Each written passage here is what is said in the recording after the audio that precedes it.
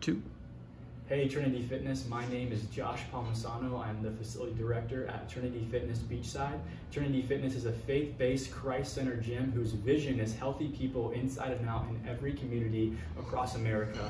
I have a quick Devo for you today. With everything that has been going on in our world with the coronavirus and all the chaos that that is bringing, that uh, there has been a question that has surfaced, a question that I've seen on social media and a question I have seen from warriors at Beachside asking this, is this the end? Are these the end times that we are living in? And here's the answer to that question. I don't know.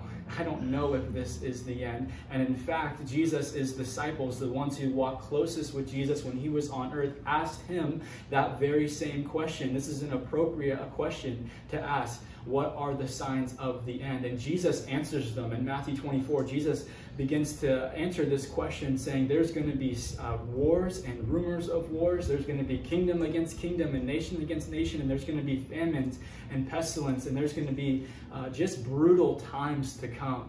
Jesus talks about how uh, sin is going to grow rampant and the love of many are going to grow going to grow cold. And, and we see these. These are the things that we are seeing all around us. These things we have seen in 2020 alone. But Jesus says don't be troubled. This is just the beginning. And he goes on to continue to answer the disciples questions and he leaves them with this he says in Matthew 24 44, he says, Therefore you also must be ready, for the Son of Man is coming at an hour you do not expect. Jesus says, His return, the signs of the end, coming at an hour no one knows, but our command is to be ready.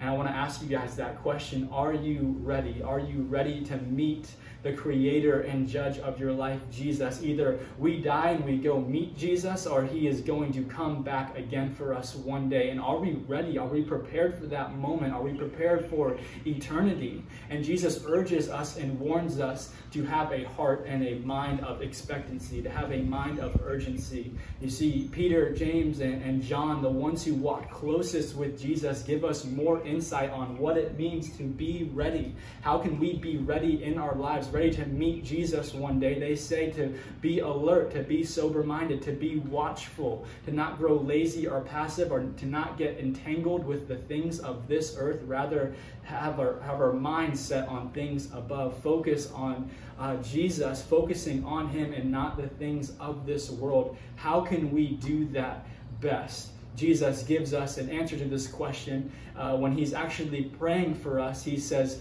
uh, Father, for eternal life is to know him. He's saying eternal life is to know the one true God and to know Jesus Christ whom he sent. And I want to ask you guys that question. Do you know him? Do you, do you know who Jesus is? Do you know who your Savior is? Or have you gotten caught up in the things of this world? Are you walking with him today? Are you living in a way where you are ready to meet him? Because it is so easy to get entangled with the things of this world. But my friends, let us stay focused. Let us stay focused on, uh, on knowing God and walking with Him closely. And I want to leave you with that challenge. Are you ready? Are you living in a way where you are prepared to meet Him one day? That's my challenge for you guys today. Let's pray, and you guys can get into your battle. So, Lord, we, we thank you that you are coming again for us one day. And we thank you that we are going to meet you. And I pray that we would be ready, that we would have hearts of expectancy, ready to meet you face to face. Lord, help us not to grow lazy or passive, but give us the strength to not grow weary and keep uh, fighting on, pressing into you each more uh, every day. God, we love you. In Jesus' name, amen.